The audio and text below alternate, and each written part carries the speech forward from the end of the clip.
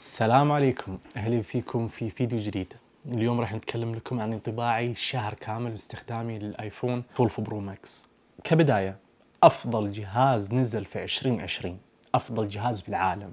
ذا الجهاز أفضل التقنيات اللي موجودة من عند Apple. أفضل جهاز للأشخاص اللي يحبون أجهزة Apple بالشاشه الكبيرة. إذا عندك iPhone 10 عندك iPhone 8 عندك iPhone 10 S وتبي تحدث وانت من النوع إذا كان عندك iPhone 10 فأنت ما تغير له كل سنتين. بعض الأشخاص عندهم iPhone 10 ما يغيرون كل ثلاث سنوات. فلا تحرم نفسك تروح تاخذ ال iPhone 11 جرب ال 5G ما اشتغلت عندك ال 5G في منطقتك يمكن السنة القادمه راح تشتغل وانت ما راح تغير جهازك بسرعة. فهذا الجهاز باستخدامي له ممتاز جدا. ال material اللي فيه فخم. جهاز مصنوع من stainless steel أنا اللي الآن منقهر من التطبيع في ال stainless steel أنا من النوع اللي عندي غلفة حق ال iPhone لكن ليش أحرم نفسي من مسكة الجهاز بدون غلاف؟ مسكة الجهاز تحسه حلوة لكن برضو مش حلوة. الجهاز الشكل حقه صح إنه جديد. شكل ال iPhone ات القديمة اللي موجودة عندنا مثل ال iPhone 5 S ما يحتاج أجيب لكم. تعرفونه؟ تقدر توقف الجهاز كذا. يعني أنا أستخدمه كثير وأنا أكلم الشباب في السعودية. فتوقف الجهاز وتسولف معاهم. شيء حلو. مسكة الجهاز تألم. أصابيعي كثر ما هم حفروا هنا ما تأقلموا إلى الآن على الجهاز. الشكل حقه حلو صح. حواف الجهاز أرجع أقول لك أبل في الاستخدام ما بعجبني. لا في المسكة ولا في الخروج. أنا تعلق إيدي أنا يعل... تعلق إيدي كذا في الخروج. يعني هذا بالحالة مو بعجبني. ال curve اللي كان في الأجهزة القديمة أفضل بكثير. ال rounded اللي هنا موجود يعني سموث في الخروج من البرامج. خصوصا أنا شاري sticker هنا حاطه sticker هذا من موقع Apple برضو شريه فمش جاي كامل على الجهاز ف يعني تعلق ايدي من جهتين من بداية الجهاز من ال chassis وتعلق على الشاشة فتمسك الكاميرات صح ال iPhone 11 نفس الخروج في الكاميرات لكن Apple أتوقع أنكم عندكم خيارات ثانية تقدرون تسوونها. ليش الشكل هذا؟ ليش الجهاز إذا كان كذا لازم يجلس على الكاميرا؟ كل ال iPhone ات طبعا من iPhone 6 زي كذا. عندها خيار ثاني Apple تقدر تسويه. عندكم ال iPod Touch اللي موجود هنا أنتم من زمان مسوينها من قبل ال iPhone ينزل. كاميرا ال iPod Touch طالعة لكن ال ring اللي موجود على ال iPod Touch نفسه هو ال ring طالع أكثر من الكاميرا نفسها فكذا يحفظ على الكاميرا. هنا لا هنا عكس. Apple شو مسوية؟ لو تشوفون ال iPhone ات اللي عندكم اللي عندكم iPhone 12 تشوفون ال ring اللي على نفس الكاميرا طالع صح بارز لكن الكاميرا بارزة أكثر من ال ring. فانك تحط هنا تحط على نفس العدسة اللي موجودة برا أو الزجاج الحامل الخارجي على الكاميرا. Apple اعكسيها Apple؟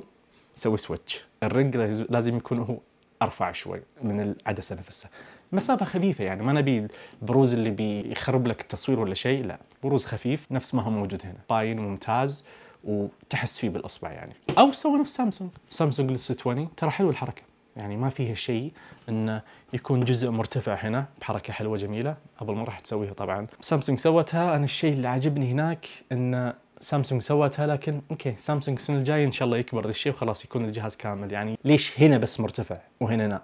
يا حبيبي سوى كامل. ليش Apple كل سنة أنت برضو كل سنة تنحفين في الجهاز؟ ما حد اشتكى لك قال لك الجهاز سميك عادي سمكية يعني المسافة خلي نفس الكاميرا. والله حلو والله.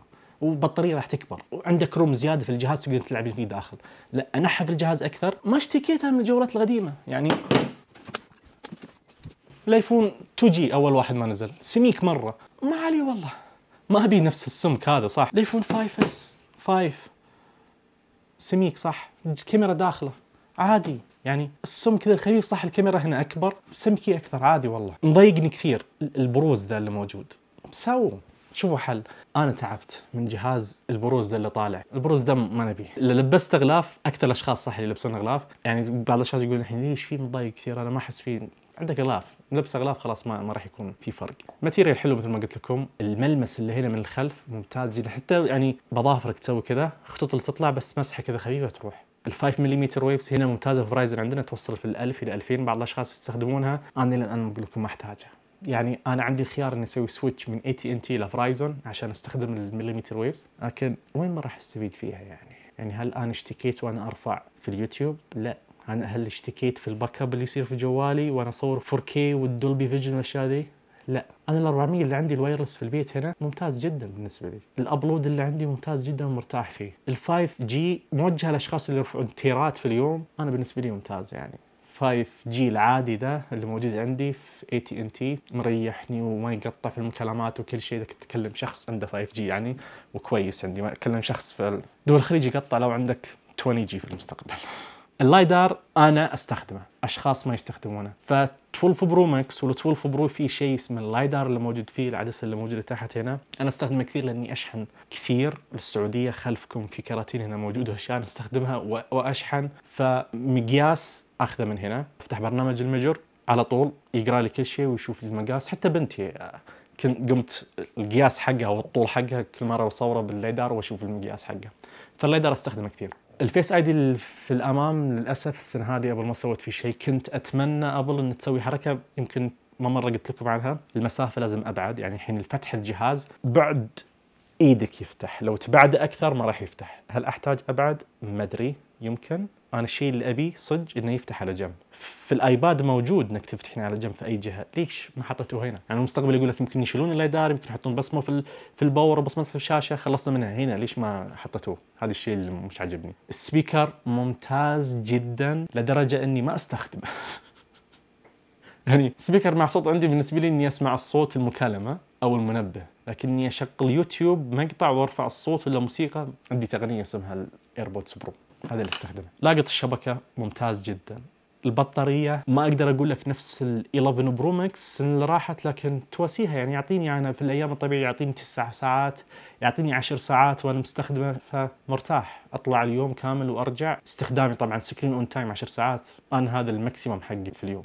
خلاص بعدها أقوم ألبس نظارة. خلاص هذا الاستخدام الطبيعي لا كذا يعني. فجهاز مثل ما قلت لكم أول شيء نصيحة حق كل شخص عنده أجهزة قديمة يحدث حق ال iPhone 12 ممتاز جدا. لكن بعض الأشخاص يقول لك لا أبي شاشة أكبر شيء موجودة في السوق. هذا هو. بس تجي الميزات الثانية أنا عارف إنك ما راح تستخدمها. الكاميرا هنا Dolby Vision 60 هناك 30 أصلا بعض الأشخاص اللي شارين الجهاز ما شغلوا ال Dolby Vision في نفس الإعدادات لو تخلوا في الإعدادات تروح الكاميرا هناك ما شغلوا أصلا HDR اللي موجود هناك. بعض الأشخاص أصلا ما يغيرون تصوير الكاميرا نفسها يخلونها full HD مو مغيرين حاطينها 4K فعلشان بس إنه كبير أو أكبر شيء من Apple أو جميع الميزات فيه لكن هو ما يستخدم جميع الميزات لكن بس إنه عشان يكلم يسوي كذا يمكن. في ناس. معالج. ما في نفسك. كاميرات ما في نفسك. التقنيات الموجودة Dolby Vision ما في نفسك. ال LiDAR ما في نفسك جهاز. ال ultra wide العدسة خيسة جدا آسف. ال 2.5 x ممتازة جدا. بعضك 10 x أنا 2 x ممتازة والحين 2.5 برضو ممتازة. فلاش ما أستخدمه في التصوير أستخدمه لحق. أدور شيء ضايع في الظلمة. التصوير الليلي ممتاز جدا جدا جدا في الصور. في ال time lapse التصوير الليلي ممتاز جدا. التصوير الليلي في جميع الكاميرات. ال Deep Fusion في جميع الكاميرات. 4K 60 frame ال Dolby Vision في جميع الكاميرات. مدلعنا كثير. مدلعنا في المسكة بس. هذا اللي نبيه شوف لنا حل انت كلم Apple. كلم Apple خليها تعدله بس هذا كل شيء. شو أقول لكم؟ جهاز ممتاز. ثقل الجهاز من ال iPhone 11 Pro Max انتقال ل 12 Pro Max ما حسيت في فرق لكن انت إذا تنتقل من ال 10 S Max. أو الاجهزه القديمة راح تحس ثقيل هذا الجهاز وهذا الجهاز اللي يعلمك إن Apple لا صغرت الحجم البطارية ما يقل الأداء. هنا صغير البطارية عن ال iPhone 11 Pro Max لكن تشابه الأداء يعني. صح نزلت تحت ال 300 أو ال 200 أو ال 300 أو هالحجم أو ال 400 ملي أمبير. لكن بدون ال 5 G مثل ال iPhone 11 Pro Max راح يعطيك نفس الأداء. مع ال 5 G راح ينقص ساعة بس قاعد تستخدم 5 G أنا اللي صدمت فيه برضو إنه صح. MagSafe اللي تستخدم هنا يسخن الجهاز لكن السخن طبيعي أنا ما راح امسكه أنا من النوع اللي ما أستخدم الجهاز وأنا قاعد يشحن في ال MagSafe. لكن استغربت فيه بالشحن ال 20 واط. ما يسخن. عندي ال 11 Pro Max انه راح أجي تشحن فيه. 18 واط يسخن. هنا بال 20 واط ما يسخن. اكتبوا لي تحت في التعليقات إذا عندكم جهاز 12 Pro Max وتشحنونه بال 20 واط هل يسخن عندكم ولا ما يسخن؟ بدون استخدام الجهاز. يعني حطه يشحن وتركه أنا أجي بعد 10 دقائق المسه بس بارد. يعني كنت أبي أجرب. هل يسخن ولا ما يسخن؟ فما أدري اللي سوت Apple هنا لكن ما يسخن الجهاز مع إنه ما سوت شيء داخل. وباقي الحين ال MagSafe تشوفون الحل فذا الجهاز أو الجهاز القادم 100% إذا شلت ال port يقول لك الشحن راح ينشال. بعض النسخ الجديدة أو نسخة واحدة من ال iPhone ات 13 مثلا أو 12 S فبينقلب MagSafe كامل فلازم تشوفون حل عشان ما يسخن. برضو ما أدري كيف راح نفرمت الجهاز نفرمته بالنظام يعني نضغط عليه زرين كذا ويخش لنا علامة Apple ونقدر نلعب في الأزرار نفس ال Android ونروح حق ال format ونروح حق التحميل كذا نضغط ونشتغل wireless ونفرمت. يمكن. ندخل نسوي backup بس بال wireless انه موجود في ال iTunes من السنوات راحت في إنك تشبك الجهاز على اللابتوب حقك بال wireless ما يحتاج تحطه بالكيبل وتسوي له backup format بالكمبيوتر كيف؟ ما أدري. هل ال MagSafe راح ينقل بيانات؟ ما أدري. هل بيسوون حركة؟ ما أدري. Apple عندهم خيار إنه من زمان مع ال Apple Watch Apple Watch مستحيل تركب الكمبيوتر إذا تعلقت لازم توديه حق ضمانهم يتفاهمون. فنشوف قدام إيش بتسوي Apple. بس هذا انطباعي كله لحق أفضل جهاز في العالم لكن يقول لك الزين ما يكمل حلا ما راح أكملها. لا بس هذه الزين ما يكمل حلا نستنى ابل نشوف إيش بتسوي السنة هذه مع الأشياء الجديدة الأشياء اللي بتنزلها في الجهاز القادم اللي تخلينا نشتريه. شنو هو ما ندري. الألترا وايد. تحديد هالحالة بالنسبة لي يعطيني دافع ان أشتري الجهاز ذاك. أنا أحاول إن نوصل مرحلة كاميرا الألترا وايد تصير نفس الكاميرات الثانية علشان أتوقع إني بصور فيها كثير. أنا إلى الآن ما أصور فيها إلا في النهار والشمس قوية. النويز اللي موجود في الكاميرا مش ممكن. بس ففي نهاية الفيديو لا تنسون الاشتراك بالقناه واشتراك في حسابي سناب شات تشرف ضغطكم وعمل لك المقطع ونشر المقطع ولا تنسون فضل دعاكم. والسلام عليكم.